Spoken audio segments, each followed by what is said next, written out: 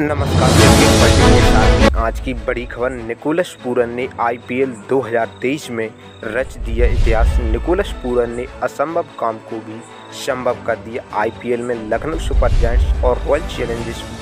के बीच सांसें रोक देने वाले मुकाबले में लखनऊ ने एक विकेट से आखिरी ओवर में जीत दर्ज की जिसमें जीत के हीरो रही निकोलस पूरन ने 19 गेंदों पर बासठ रन की एक शानदार पारी खेली इसी के साथ ही उन्होंने आईपीएल 2023 में सबसे तेज अर्धशतक ठोक दिया उन्होंने मात्र 15 गेंदों पर अर्धशतक लगा दिया इसी जीत के साथ एलएसजी पॉइंट टेबल में नंबर वन पर पहुंच गई है